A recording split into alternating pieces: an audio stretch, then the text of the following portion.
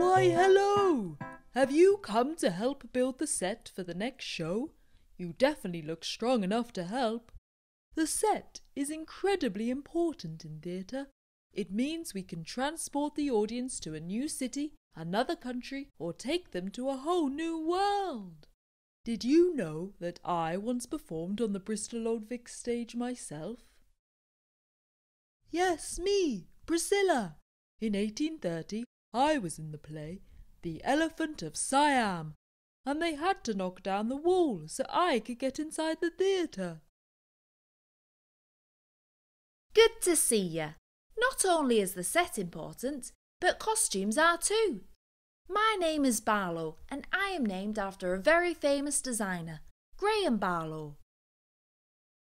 Take a look through the interactive touch table. Have a look at the costumes and sets from the different shows. Which ones are your favourite? Can you find what the actors wore in the production of Henry V in 1964? Those were some of my favourite costumes I made. And once you've done that, head upstairs to the dress circle, where you'll find Streeder the snake.